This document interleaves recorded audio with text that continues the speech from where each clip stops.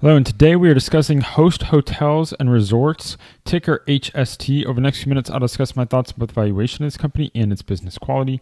This company has a market cap of $11.4 billion, enterprise value of $13.8 billion. So, see about $2.4 billion in net debt on this business, about 15 to 20% of the overall enterprise value.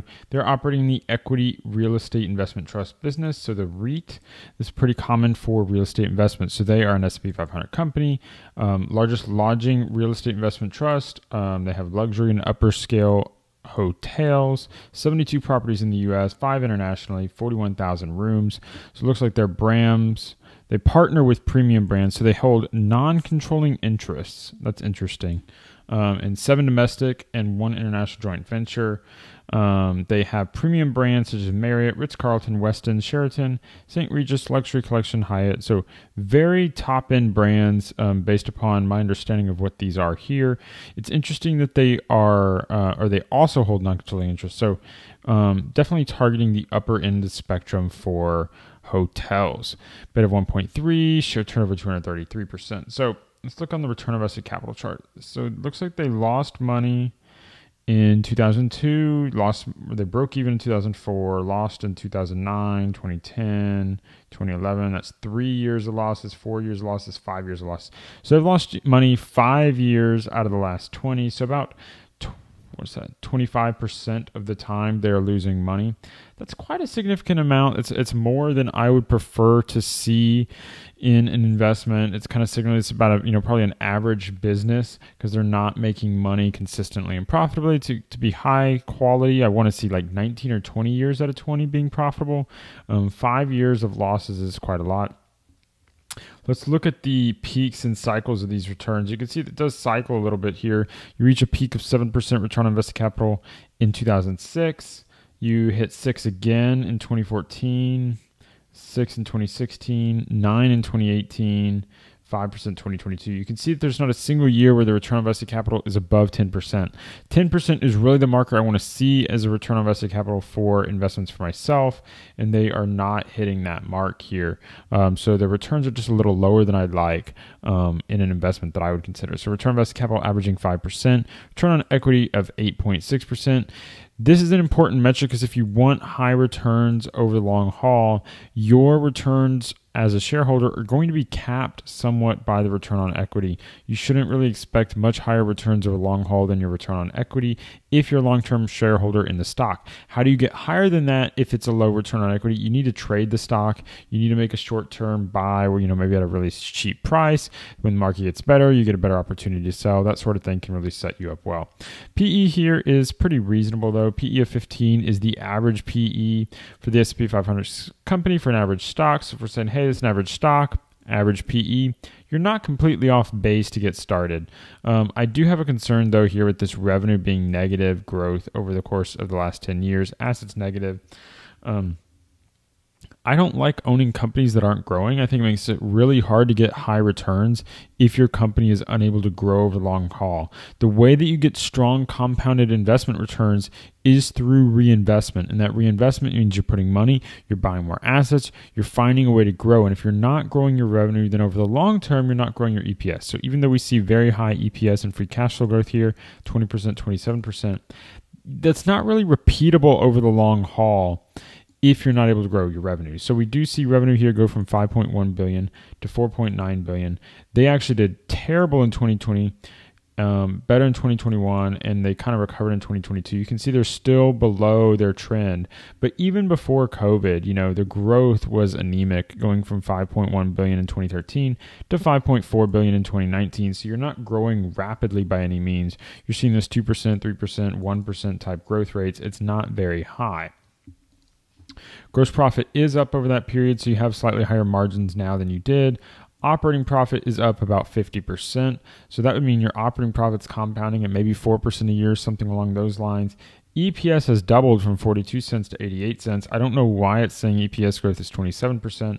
That's not what I'm seeing here. If you're going to double over the course of a decade, you're basically growing in the 7% range, 7 to 8% range, not 27%.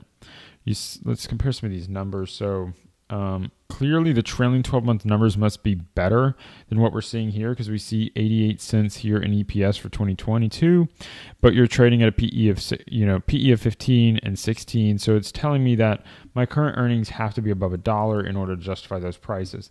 The problem is that you know you earned a dollar in 2018, you earned a dollar in 2019, but you had you know years of losses here, um, and so it's really hard to make sense of you know kind of what my reliable number is. You did pay a dividend, but that dividend was cut in 2020, eliminated in 2021. Not a great sign there. Overall, just kind of bleak financials. Lack of growth, as you can see here, is a massive problem for a company like this.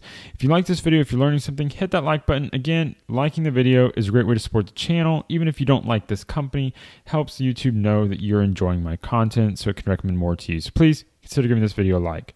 Um, so SG&A, you can see your SG&A has gone up about 10% over the course of the decade, 327 to 366. That's good because you know uh, I mean that's that's actually quite a lot when you think your revenue has declined and but your SG&A is going up. That's not really what you want to be seeing. Um, your other operating expenses are maintaining about flat. Where are your where's your growth coming from? Is interest expense going down? So yeah, basically. So it looks like your interest expense has gone down. You went from having um, a significant amount. You did have some good gross profit in the last trailing 12 months. That's showing up a little bit. Um, these numbers don't seem right. So you went no, I guess it did. So you, basically, this gross profit's dropping to the operating profit line, and you're able to get an additional 150 million from your net interest income. So you're growing quite a lot. And and on this side, you know, you're moving here. Your income tax is lower, so there's a few things helping you out there. Um, likewise, you are having share buybacks. You went from 748 million shares outstanding to 718 million shares outstanding. So you're buying back, you know, somewhere in the range of you know maybe five percent of the shares over the course of the decade. That's not a lot. You're talking about less than half a percent per year to your growth rate there. That's really not a significant amount. I wouldn't really make much in counting that into the future. Um, you know, some years it's going up, some years it's down. Um, I, I wouldn't rely on that. Let's go to the balance sheet. Investments is down. You had 347 million to 132 million, but they kind of switched over to PP&E. So this is probably just a reclassification in part. Uh, cash and cash equivalents. Long term debt is down. So again, you had lower interest costs. That's certainly going to be one aspect of it. Is they have paid down debt. That's a good sign. You know, if you're not growing, paying down your debt is a good move operating cash. So, of course, your operating cash is higher than your net income here. This is common for REITs as you're going to have this cash flow. A lot of their expenses are going to be in depreciation and amortization. But, of course, a lot of expenses is also being thrown back into these properties and PP&E spending. So you really have to balance, like, well, what's the true number here? Because if you're investing this much money into PP&E, you're investing this money, much money into acquisitions, what's going on? Also, they have a very significant number here under QuickFS for this other you're definitely going to have to study the 10k annual reports if you want to really understand what's going on with this cash flow here because that's not that's really making it hard to tell what's going on. Um, overall though you know you're paying dividends pretty reliably. I just nothing is impressive about this company. There is just an average company. They're they're earning profits you know three out of four years they're earning profits. The profits aren't particularly high. You know 5% return on invested capital 8% return on equity they, it's not like they're growing rapidly, so I'm not excited about growth. I'm not excited about returns on capital. The price isn't exciting, although it is average. It's just it's not exciting. It's not like it's cheap. You can't say it's cheap, like a PE of six or seven or something like that. Um, so overall, I'm going to pass on host hotels and resorts. It won't go on my watch list. If you learned something from the video, hit that like button. Don't forget to subscribe. I'm working through every company in the S&P 500, and I think there are some others that you would really enjoy. You can check out my watch list video here at the top of the screen. And if want to learn how to use this software, quickfs.net, the, my affiliate link is the first link in the description below. You can sign up for a free or paid account for that link. Great way to support the channel because I get a commission if you sign up using that link. Thank you for listening, and until next time, stop paying fees, start building wealth.